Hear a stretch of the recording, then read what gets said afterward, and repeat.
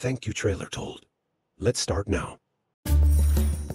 Welcome to Potionomics 101. My name is Owl, and I will teach you the ins and outs of running a potion shop. Let's head over to the cauldron and brew some potions.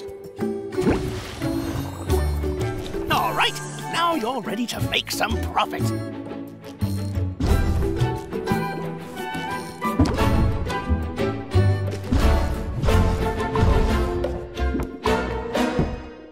Dear.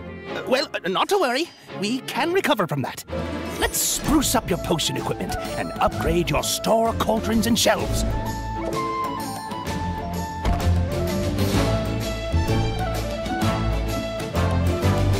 Source a variety of ingredients from vendors on the island.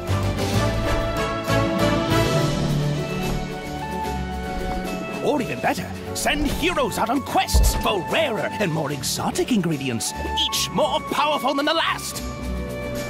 Spend some time making friends here on the island.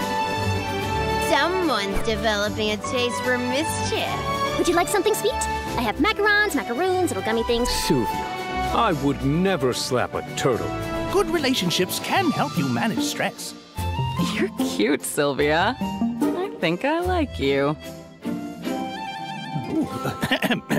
Uh, you can also learn new haggling tips from your friends. String them together for a persuasive argument.